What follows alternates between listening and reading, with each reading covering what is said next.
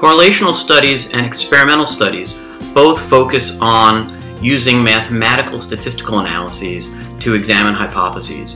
But what if we're interested in the subjective experience of people? In that case, we might want to use qualitative methods. So a good quantitative question, for example, would be something like, does being exposed to television violence result in higher levels of aggression in people with schizophrenia? That would be a great quantitative question. We can do an experiment on that. But if we're looking at somebody's subjective experience, that might not be as easily um, examined through an, a, a, traditional experiment. So for example, if we were looking at the question, what is it like to experience auditory hallucinations? What, this, what is the subjective experience of that like? We might instead rely on qualitative methods. Although there are many different kinds of qualitative methods, all of them rely on the same five steps. They all require the collection of verbal data, interviewing participants and, and getting their stories. They all involve reading the data in some kind of systematic way. And then they involve breaking the data into parts.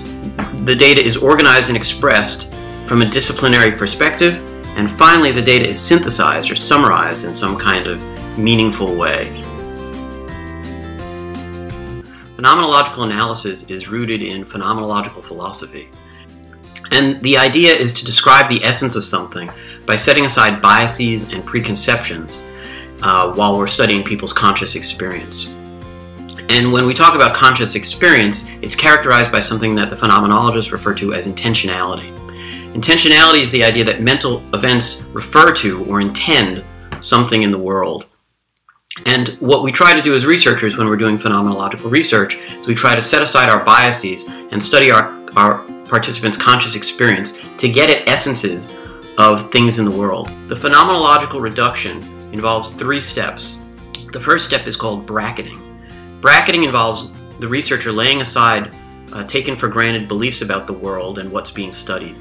That is, there, there's an effort to shift one's view from understandings that mirror the world to the view that objects present themselves to us and we have to interpretively make sense of them.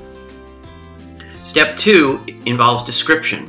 The researcher obtains descriptions of what's being studied from participants. Right? We get participants to tell their stories. And then the third and final step is the search for essences. What we try to do is we try to take these participant descriptions and break them down into meaningful units right, that cut across different people's descriptions. And we look for commonalities across the participants. And then the results are considered the essences of what's being studied. The essence, for example, of the experience of, of having hallucinations is something that we might we might get at at the end of a phenomenological research study. When it comes to the validity of qualitative methods, qualitative researchers uh, often assess the trustworthiness of their results. What is its social validity? To what extent does it seem to validly account for people's social experience? Um, does it acknowledge its biases? Does it try to look and say what possible biases could have influenced these results? And does it note them and talk about them? And does it provide adequate data that can help us legitimately understand the experience of what it is we're studying?